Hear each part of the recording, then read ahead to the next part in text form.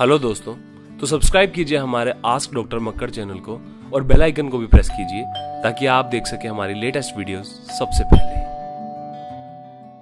ये जो हम वीडियो बना रहे हैं, इसमें हम स्पाइन का चेकअप कर रहे हैं। स्पाइन में हमने सबसे पहले तो तो गर्दन से शुरू होना है, ऊपर से लेकर हमने नीचे तक जाना है। आप गर्दन ना थोड़ी सीधी रखो, ठीक है? जहाँ पर दर्द हो ना, मुझे बताना, मैं चेकअप कर रहा हूँ आपका, ठीक है? यहाँ कोई दर्द आया क्योंकि आप कह रहे हो गर्दन में में दर्द हो रहा है? यहाँ कोई दर्द है? दर्द है। हाँ। हाँ यहाँ पर अगर लंबे टाइम दर्द रहे ना हाँ ये थोड़ा सा मांस आपका बढ़ रहा है। हाँ इसे हम कहते हैं सर्वाइकल हम्प ठीक है? हाँ जैसे जैसे अकड़न जकड़न गर्दन पर बाहर बढ़ता रहेगा ना हाँ ये सर्वाइकल हम्प बाहर निकल कर आ जाएगा। क्योंकि गर्दन में से ना मांस निकल कर आ जाता है।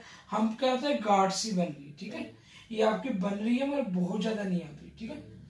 जैसे हम स्पाइन को चेक करते रहे करते रहे तो ऊपर से नीचे तक करते हैं। यहाँ दर्द हो रहा है? हाँ आप एक कोशिश करें अगर यहाँ दर्द होने लग पड़ा ना हाँ यहाँ से ना हाँ जो। डिस्क है बाहर निकलने लग पड़ती है। अगर आप रोज झुक कर बैठते हैं ना ऐसे जैसे आप नॉर्मली आप ढीला छोड़ो।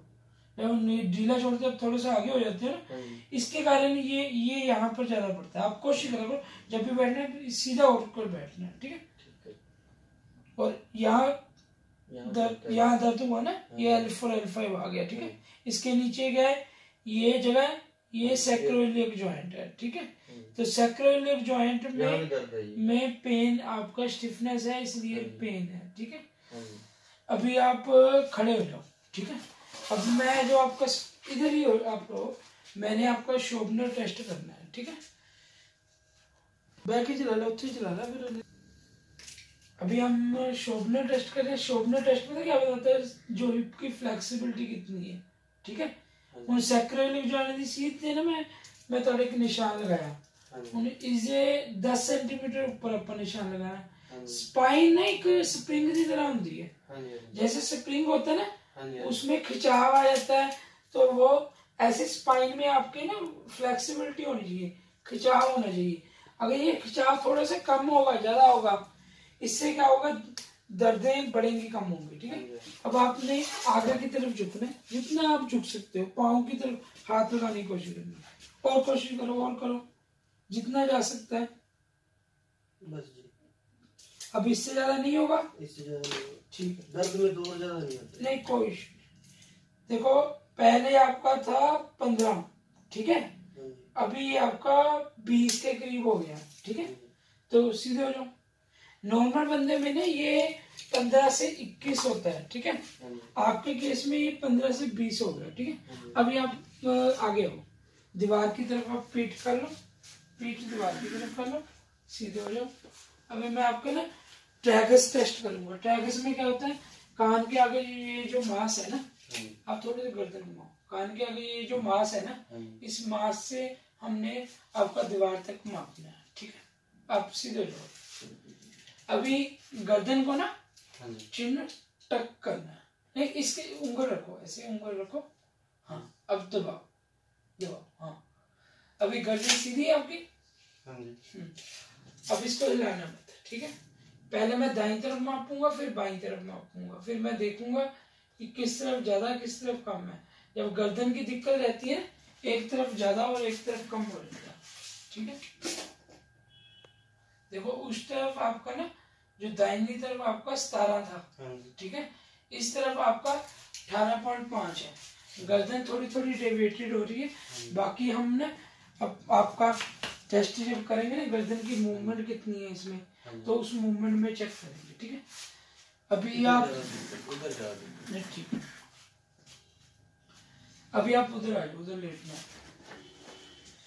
गर्दन में हमने मूवमेंट देखनी है। नॉर्मल बंदे में मूवमेंट ना सेवेंटी डिग्री तक होती है ठीक है? तो एनकालोसिस पेशेंट में ना मूवमेंट ना कम होने लग पड़ती है ठीक है? अब जब मैं आपको कहूँ अब ज़ीरो डिग्री पर आइए ठीक है? अभी आपने राइट साइड घुमाना शुरू करना। जितना घूमता घुमाओ। नॉर्मल बंदे में ये ना सत्तर डिग्री तक जाता है ठीक है?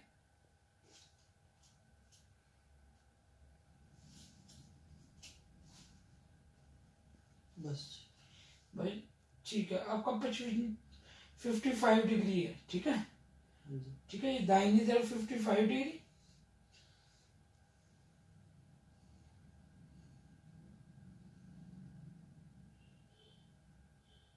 ये सत्तर डिग्री होनी चाहिए यानी कि गर्दन की मूवमेंट कम हो रही है। ये अभी हो नहीं रही ना क्या हो रही है? बस बस यहाँ पर फोर्टी फाइव डिग्री ठीक है? यहाँ पैंतालीस डिग्री तक की घूम पाई आपकी गर्दन ठीक है? हाँ अब मैं आपके ना पीठ को अपना पाँव को चेक करूँगा ठीक है? पाँव दाहिना या बाहिना कौन सा ज़्यादा दर्द होता है? ज़्यादा दाहिना। दाहिना दर्द होता है ना?